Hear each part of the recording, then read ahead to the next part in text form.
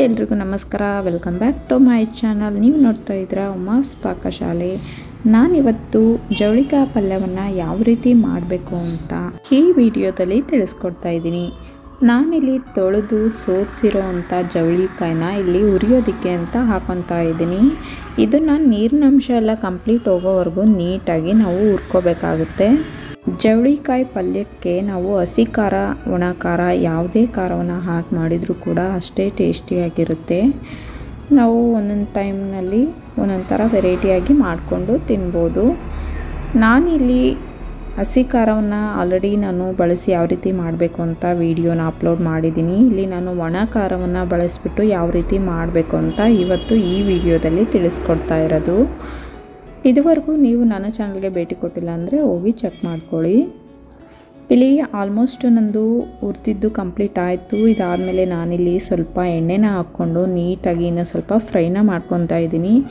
ಇಲ್ಲಿ ನಾವು ಮತ್ತೆ ಎಣ್ಣೆನ ಹಾಕ್ಬಿಟ್ಟು ಒಗ್ಗರಣೆ ಕೊಡುವಾಗ ಇನ್ನೊಂದು ಸ್ವಲ್ಪ ಹುರ್ಕೋತೀವಿ. ಆ ಕಾರಣಕ್ಕಾಗಿ ನಮಗೆ ಇಷ್ಟ ಆದರೆ ಸಾಕಾಗುತ್ತೆ. ನಾನು ಇದನ್ನು ಒಂದು ಪ್ಲೇಟಿಗೆ ಎತ್ತಿಟ್ಕೊತಾ ಇದ್ದೀನಿ.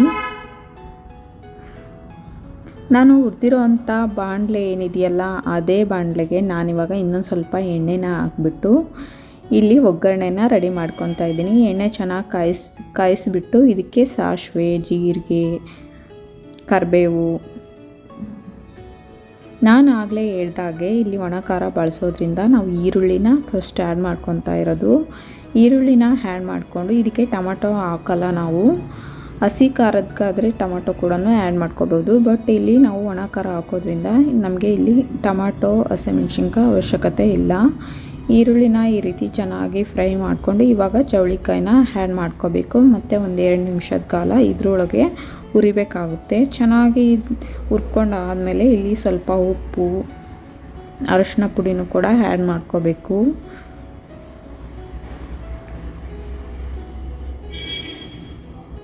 ಸ್ವಲ್ಪ ಸಕ್ಕರೆ ಕೂಡ ಆ್ಯಡ್ ಮಾಡಿದಾಗ ಪ್ರತಿಯೊಂದು ಅಡುಗೆನೂ ತುಂಬ ಜಾಸ್ತಿ ಸಕ್ಕರೆ ಆ್ಯಡ್ ಮಾಡೋಕ್ಕೆ ಹೋಗ್ಬಾರ್ದು. ಸ್ವಲ್ಪನೇ ಒಂದು ಪಿಂಚ್ ಅಂತ ಏನು ಕರಿತೀವಲ್ಲ, ಈ ಥರ ಸಕ್ಕರೆನ ಆ್ಯಡ್ ಮಾಡಿದಾಗ ಟೇಸ್ಟ್ ಅನ್ನೋದು ಡಿಫ್ರೆಂಟಾಗಿರುತ್ತೆ ಇಲ್ಲಿ ನಾನು ಸಕ್ಕರೆ ಅರಿಶಿನ ಪುಡಿ, ಉಪ್ಪು ಹಾಕಿ ಚೆನ್ನಾಗಿ ಉಕ್ಕೊಂಡಾದಮೇಲೆ ಮತ್ತೆ ಲಾಸ್ಟಲ್ಲಿ ಖಾರದ ಪುಡಿನ ಆ್ಯಡ್ ಮಾಡಿಕೊಂಡು ಒಂದೆರಡು ನಿಮಿಷ ಖಾರದ ಪುಡಿದು ಹಸಿ ವಾಸನೆ ಅನ್ನೋದು ಹೋಗೋವರೆಗೂ ಉರಿತಾ ಇದ್ದೀನಿ.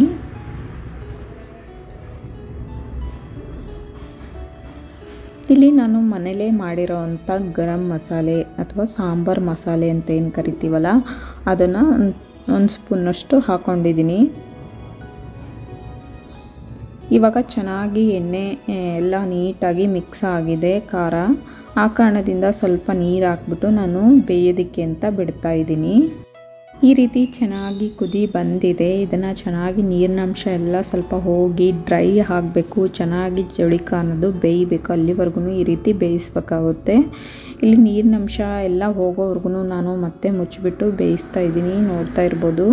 ನಾನಿಲ್ಲಿ ಸ್ಕಿಪ್ ಮಾಡಿ ತೋರಿಸ್ತಾ ಇದ್ದೀನಿ. ಬಟ್ ನನಗೆ ಐದು ನಿಮಿಷ ಕಾಲ ತೊಗೊಂಡಿರುತ್ತೆ ಅದು ಬೇಯೋದಕ್ಕೆ.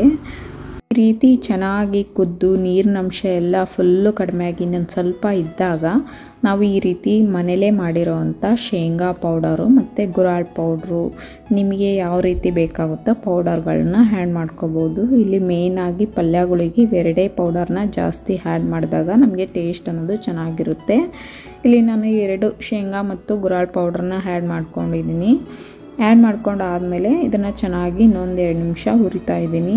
ಇದು ಇನ್ನೂ ಸ್ವಲ್ಪ ನೀರಿನಂಶ ಇರೋದೆಲ್ಲ ಸ್ವಲ್ಪ ಪೌಡರ್ಗಳು ಹೀರ್ಕೊಂಡು ಸ್ವಲ್ಪ ಗಟ್ಟಿಗಾಗಬೇಕು ಇಲ್ಲಿ ನಾನು ಇದನ್ನು ಆಲ್ರೆಡಿ ಆಫ್ ಮಾಡಿಕೊಂಡು ಸರ್ವ್ ಮಾಡ್ಕೊತಾ ಇದ್ದೀನಿ. ಇದನ್ನು ಬಿಸಿ ಚಪಾತಿ, ರೊಟ್ಟಿ ಅಥವಾ ಬಿಸಿಯಾದ ಅನ್ನಕ್ಕೆ ತುಪ್ಪನ ಹಾಕೊಂಡು ತಿಂತಾಯಿದ್ರೆ ತುಂಬಾ ಟೇಸ್ಟಿಯಾಗಿರುತ್ತೆ ಈ ವಿಡಿಯೋ ನಿಮಗೆ ಇಷ್ಟ ಆದಲ್ಲಿ ಉಮಾಸ್ ಪಾಕಶಾಲೆ ಚಾನಲ್ಗೆ ಇಲ್ಲೇ ಸಬ್ಸ್ಕ್ರೈಬ್ ಮಾಡಿ ಬೆಲ್ಲೈಕನ್ನ ಕ್ಲಿಕ್ ಮಾಡಿ.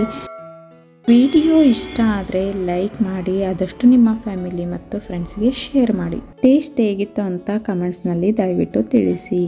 ಸಿಗೋಣ ಹೊಸ ವಿಡಿಯೋದೊಂದಿಗೆ ಅಲ್ಲಿವರೆಗೂ ಈ ವಿಡಿಯೋನ ನೋಡಿದ್ದಕ್ಕಾಗಿ ನಿಮಗೆ ಥ್ಯಾಂಕ್ ಯು.